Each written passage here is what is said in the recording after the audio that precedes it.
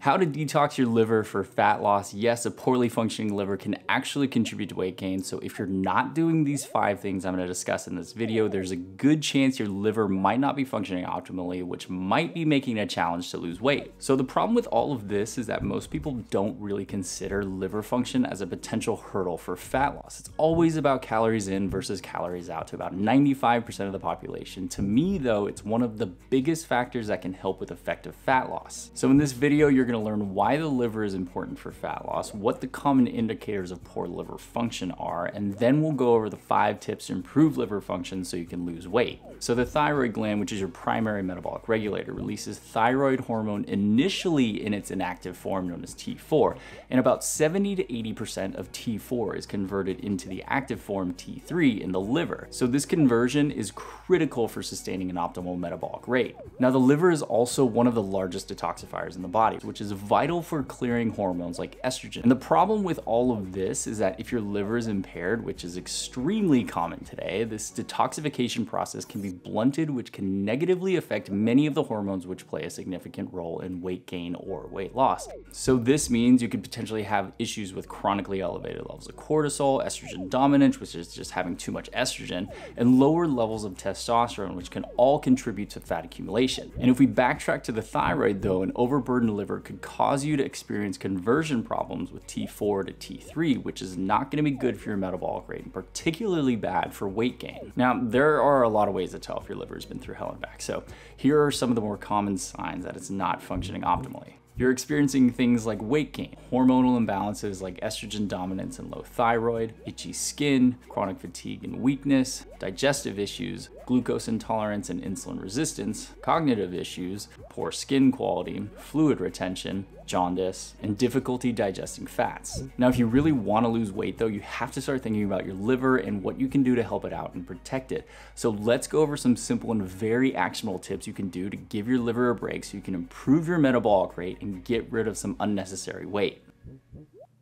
No brainer here, but you have to stop drinking alcohol. This is one of the biggest challenges for most people, but on a personal level, I vividly remember the first time I took a month off of drinking alcohol. I lost 10 pounds, and actually on the third week, I literally felt like my vision had changed. Everything was just a little bit brighter, a little bit more vibrant. It was weird, but kind of interesting. Now, since alcohol is metabolized primarily in the liver, its consumption can disrupt the normal breakdown of fats, leading up to fat buildup in liver cells, which can further lead to detoxification issues and even poor glucose glucose metabolism. And to reiterate, the damage done by alcohol can downregulate thyroid function, which has a pretty harsh impact on your metabolism metabolic rate. Also, alcohol can increase estrogen in more than one way, and estrogen, remember, can lead to fat accumulation. So grains, hops, and grapes from vineyards can all be sprayed with pesticides, which are endocrine disrupting chemicals and can promote the buildup of estrogen. Alcohol can also increase the production of aromatase, which is an enzyme that converts androgens into estrogens, which can actually increase estrogen levels in both men and women. Obviously, none of this is good and can actually compound since the dysfunctional liver can already be dealing with excess estrogen.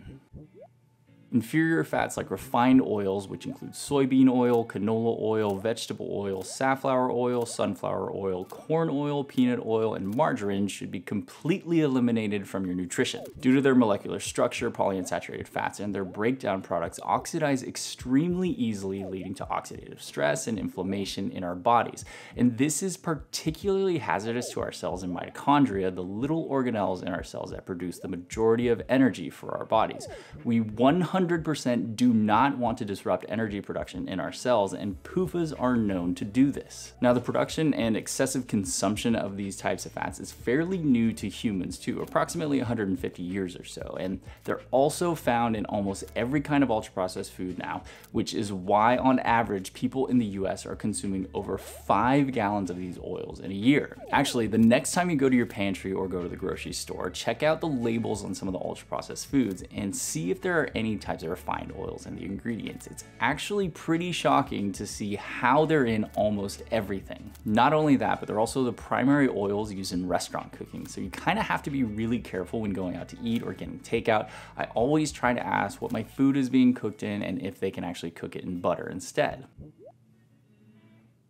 Environmental toxins can greatly impair liver function. Some of the most potent toxins we come across with on a daily basis that can be detrimental to our livers are plastics, pesticides and herbicides, PFASs, xenoestrogens like parabens, excess iron, heavy metals, and fragrances. Now, since your liver is responsible for the majority of detoxification in your body, chronic exposure to these environmental toxins can really overburden it and indirectly contribute to fat accumulation. So some quick tips to reduce exposure to some of these toxins are Use filtered water for drinking and showering. Reverse osmosis is arguably the best. I actually just wrote about this in my newsletter at metabolicupgrade.com. Eat organic if you can afford it. This is so you can limit pesticide exposure.